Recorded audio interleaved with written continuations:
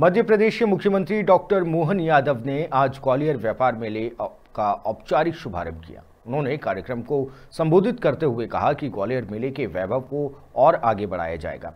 साथ ही इसे अंतर्राष्ट्रीय स्तर तक ले जाया जाएगा। इस दौरान मोहन यादव ने मन से संबोधित करते हुए माधव राव सिंधिया से लेकर उनके पूर्वजों के योगदान को याद किया। सीएम यादव ने कहा कि माधव महाराज ने उज्जैन में मेला शुरू करवाया। यह मेला इस राजवंश का गौरवशाली इतिहास है। वहीं मुख्यमंत्री ने केंद्रीय मंत्री, ज्योतिरादित्य सिंधिया, पूर्व केंद्रीय मंत्री और मध्य प्रदेश विधानसभा अध्यक्ष नरेंद्र सिंह तोमर के ग्वालियर के विकास के लिए किए जा रहे कार्यों की तारीफ़ की।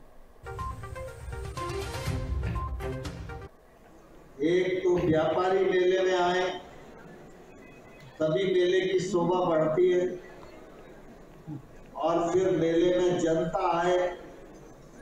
तो मेले की प्रतिष्ठा में चार चाँद लगते हैं। व्यापारियों की तरफ़ से महेश मुदगल जी यहाँ उपस्थित हैं। उनकी पूरी टीम है और मैं समझता हूँ कि वो सब लोग इस दिशा में प्रयत्नशील है। जल्दी से जल्दी मेला मूर्त रूप ले।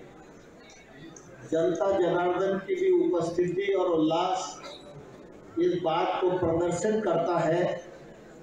सर्दी कितनी भी हो, लेकिन मेले में भीड़ कम नहीं होगी।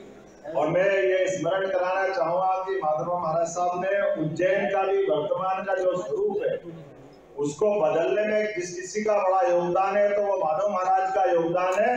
मैं उनको स्मरण करता हूँ। और महाजी महाराज साहब को भी स्मरण करना चाहता हूँ, जो वर्तमान का हमारा महाकाल मंदिर है, जिसको नया महाकाल कहते हैं, उसके पहले का पास का जूना महाकाल।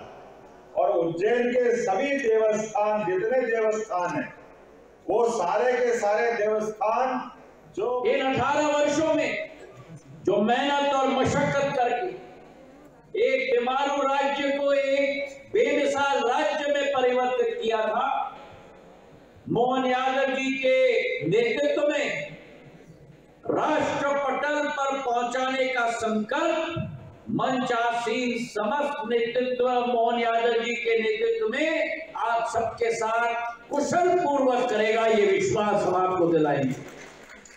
न कि आपके हर ख्वाहिश को, आपके हर सपने को, जैसे प्रधानमंत्री जी ने सदैव कहा है